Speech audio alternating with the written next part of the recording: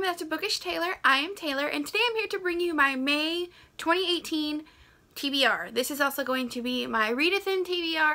If you don't know about Readathin, Readathin is a month-long readathon that happens. I think it's every two months. So this one is in May, the next one will be in August. This is hosted by Amanda from A Court of Books and Love and it is co-hosted by Jessica from Jessica Marie 493 and Chelsea from A Very Bookish Girl.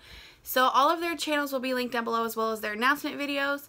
So yeah, let's go ahead and dive on in. So challenge number one is to read the group book. Now, the ever so kind Amanda from A Court of Books and Love sent me this.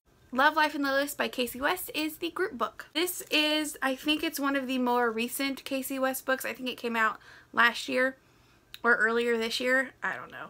But I've been really excited because I do enjoy Kasie West, so this is going to be a nice, fun, quick read. So I'm really excited to get into this, and I'm actually kind of really excited that this won because I was really interested in picking this book up anyway. Challenge number two is to read a host pick. Amanda chose Caraval Jessica chose Long Way Down, and Chelsea chose Eliza and Her Monsters. For now, I'm going to go with Eliza and Her Monsters by Francesca Zappia.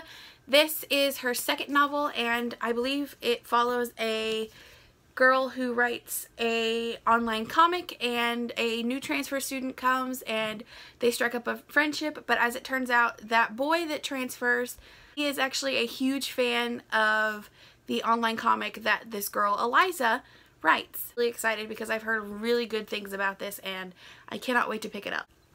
Number three is to read a book with a superhero. I'm going to go with Wonder Woman Warbringer by Leigh Bardugo. This is one of the few Leigh Bardugo books I actually haven't read and since she is one of my favorite authors I feel compelled to read this. I believe this follows Diana in her teenage years so it's hopefully going to be relatively interesting. This is the first in the, I think it's a DC Icons like four part series, so I'm really excited to read this and to get started. Number four is to read a retelling, and I am going to go with Cress by Marissa Meyer. This is the third book in the Lunar Chronicles series.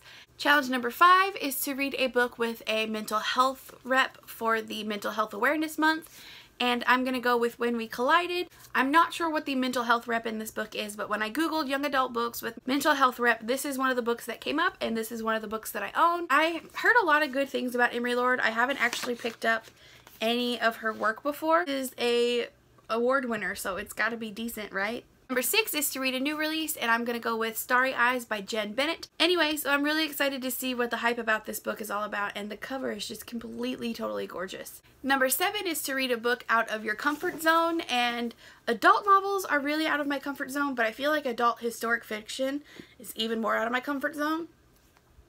So I'm going to pick up The Seven Lives of Evelyn Hugo by Taylor Jenkins Reid.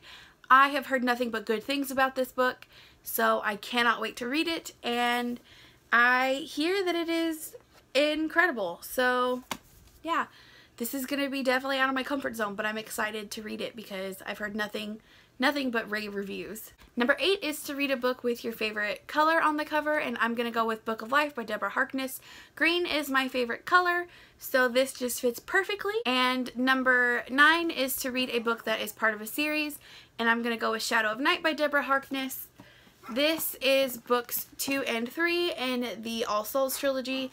I am hoping to get around to finishing this this month. I can complete these two this month. That's another series off my list. Number 10 is to read a book that you have been meaning to pick up, and I'm going to go with The Unexpected Everything by Morgan Matson. I have been meaning to pick this up since, uh, I believe it was last summer. I think that at some point Julie, Chelsea, Amanda, and I were all trying to buddy read this. Julie and Chelsea have finished it.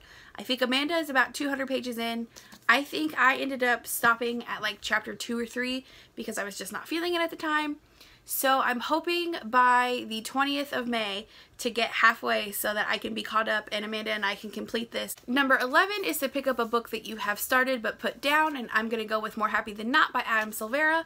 I believe I am, I'm about 66 pages in and I was really enjoying it but just not really in the mood to pick it up. So I'm going to hopefully at some point this month pick this up and finish it.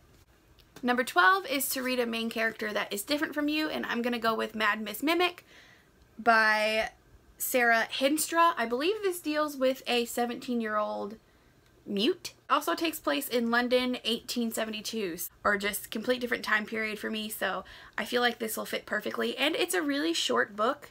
It's about 250 pages so it's gonna be a relatively quick read and yeah I'm really excited to read this. Number 13 is to read a book with a mother-daughter relationship or a gift from a mother figure and I'm gonna go with Ace of Shades by Amanda Foody.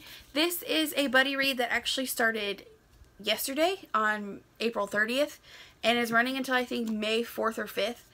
Um, but this follows a young girl who is traveling to the city of Sin in order to find her mother. So she is trying to find clues in order to find her mom and just kind of unravel this secret world that her mother's been a part of. Uh, I am currently 28 pages in and not like not hating it.